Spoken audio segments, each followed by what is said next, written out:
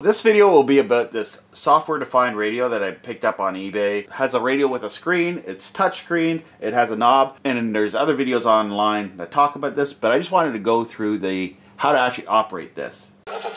So I picked this radio up, and the first thing that happened is when you turned it on, it went to this. It went to a zeroed in frequency, and I wasn't able to pick anything up, and it sounded odd like this. Turn the volume up here on you for you.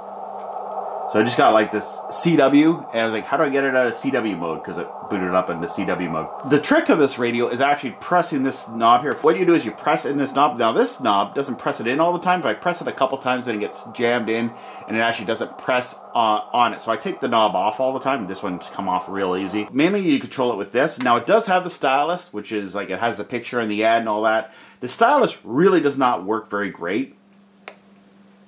Let me just turn on, I'll show you. So the stylus, it was very frustrating because like I was tapping the screen and was, it wasn't doing anything. There we go, there, I got the frequency. So I can say like um, 14, whoop, I gotta delete that. 1400, what it say, 14 megahertz. Alright, there I am, and now how do I move it? It just pauses the screen, but it doesn't move it. So it's like, how do I do this? So this thing here, it, it changes the uh, set on volume speaker right now. So you just simply press it in. As you press it in, you turn it, and you just turn the options. As you see, I'm going through the options here for the frequency and for the um, for the headphones. For this first thing, I'm put it to put it up to AM. So switch that to AM because I just want to listen to some shortwave radio frequencies, and I'm just tuning turning the knob with it pressed in. Find something here. Actually, I will. There's something there. It's not coming in very good. Here's a here's a stronger. Oh, and that's like. So there, I just pressed it in, zeroed in on that 1385. I'd like to have some insight into that because I don't know what Peter was doing. Yeah, I'm just gonna turn that down for a minute. Jesus showed up. But from so that's how you tune it. You just gotta press this button in now mine, I take this knob off all the time. Probably going to eventually lose it because when I press it, it works for a bit, but then eventually it will, I feel it getting tighter, tighter in here. Oh, see, it's let off as I pressed it. See, I was changing the LCD uh, display. Let me bring that uh, LCD up a bit so you can see it on camera a little bit better. Not too much, but enough to, so you guys can see it.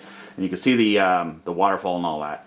So the main thing is, you can use the stylus to enter in the frequency, but I just find it's easier just to like press in here and just go like if I want to go to say listen to CB for example, I want to go 27 and then go maybe here and see if there's anything well going too high go down and see if there's anything coming up on the CB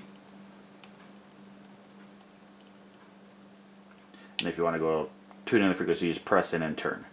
So it's like press in and turn. There's not a whole lot of buttons options on this, but I, at first I was like, how the heck do I use this thing just to tune in a frequency to see if I, my antenna is working properly, right? So that's how you do it. Uh, just basically press in, turn, and switch through your options here. You have your speaker, earphone, your AC, your AM, ACC, and your all those options.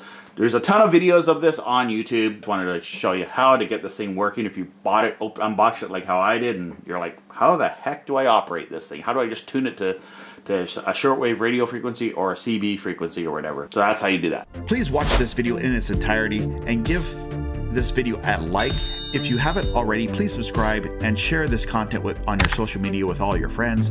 If this content has blessed you, please consider supporting my work by making a small donation to my Patreon or to my PayPal or on YouTube to donate to help support my video work.